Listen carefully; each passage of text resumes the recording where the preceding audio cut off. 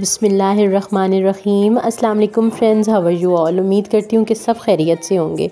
Let's make all time and every one favourite chocolate brownie today बहुत ही easy और simple से वे में हम ये चॉकलेट ब्राउनी रेडी करेंगे।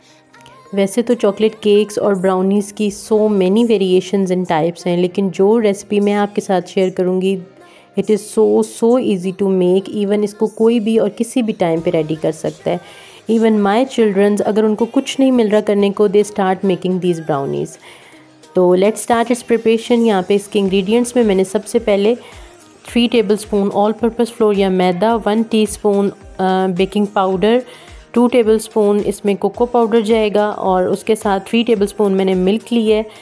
थ्री टेबल स्पून इसमें शुगर जाएगी पाउडर शुगर और टू टेबल स्पून हमने इसमें ऑयल ऐड करना है. यहाँ पे एक बाउल के अंदर मैं सबसे पहले ऑल पर्पज़ फ्लोर ऐड करूँगी. ये सारे जितने भी हमारे ड्राई इंग्रेडिएंट्स हैं, इनको मैंने पहले स्विफ्ट कर लिया था। उसके साथ मैंने यहाँ पे इसमें बेकिंग पाउडर भी ऐड कर दिया है और साथ ही मैं इसमें कोको पाउडर ऐड कर दूँगी। अब हम तीनों ड्राई इंग्रेडिएंट्स को बहुत ही अच्छे से मिक्स कर लेंगे।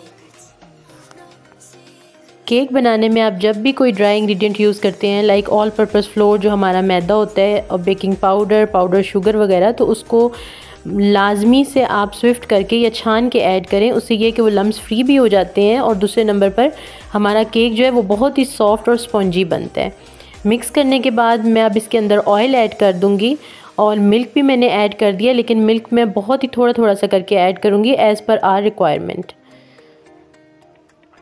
मिल्क इसमें मैंने ल्यूक वॉम यूज़ की है। अब यहाँ पे मैं इसको बहुत ही अच्छे से मिक्स कर लूँगी। इसको हमने इतना मिक्स करना है कि इसका लम्स फ्री स्मूथ सा बैटर बन के रेडी हो जाए।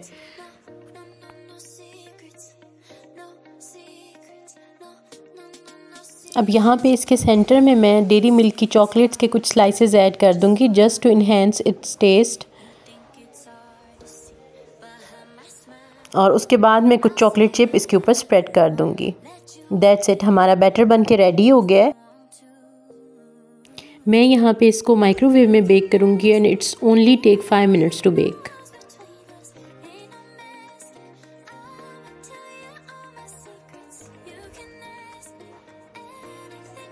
and after five minutes हमारी बहुत ही मज़े की चॉकलेट ब्राउनी बन के रेडी हो गई है।